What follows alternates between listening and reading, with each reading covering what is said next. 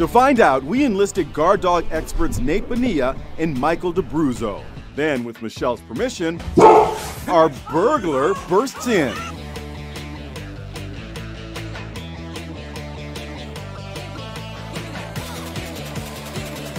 I hope she tries to protect me. I believe she's going to bite, but I'd like to find out. I think Frodo is really going to go after the attacker.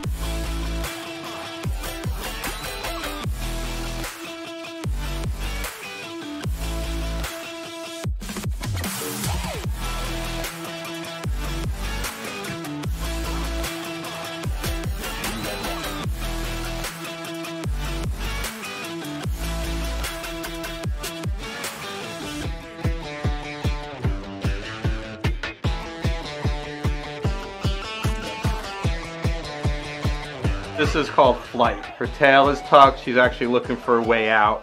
Thanks, Barry. I'm a little surprised she almost took off.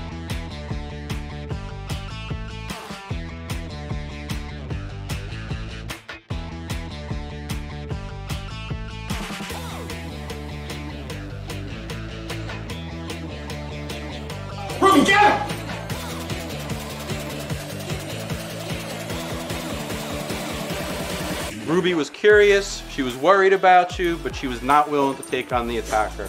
Sorry, Kevin, but Ruby is a win. My dog failed the test.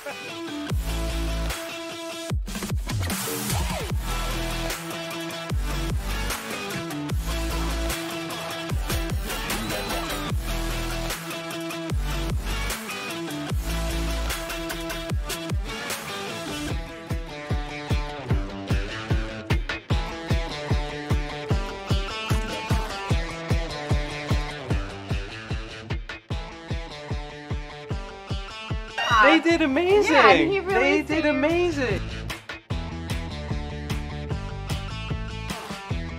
He goes right in Oh, between, puts oh, himself in the line of fire, and then And then- continues to drive him out.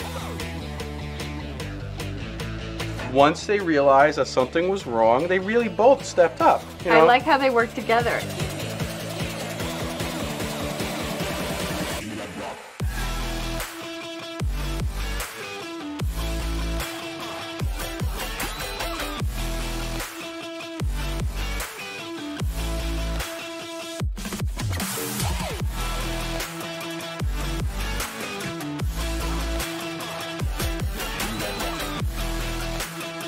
If you want a dog that will really protect you, it's not about the breed.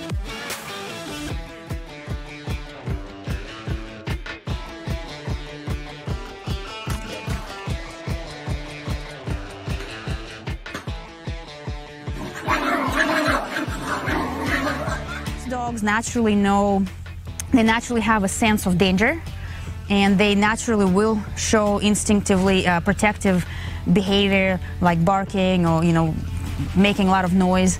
And then some dogs will bite. Most people really do not know what their dog would do.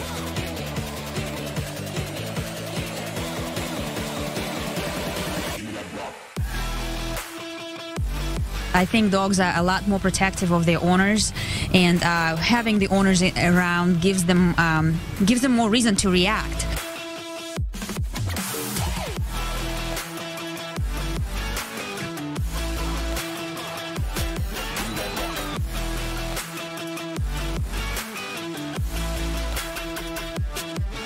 Would most dogs react in the same way? I would think so, yes. Yeah, yeah. This this is typical. They know how to fight another dog, they don't know how to fight a man. So it's it's different for them. Okay, to, when they look at a man, you know, they, they have to size it up. Work. What am I supposed to do here?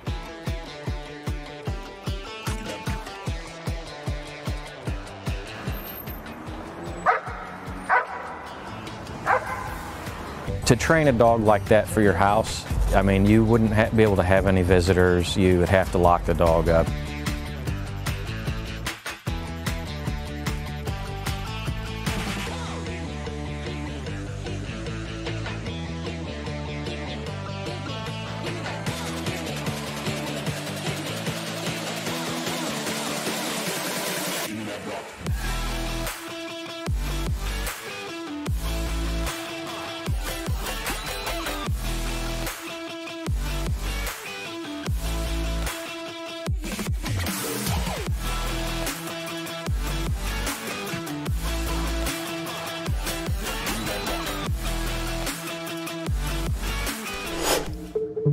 Bye.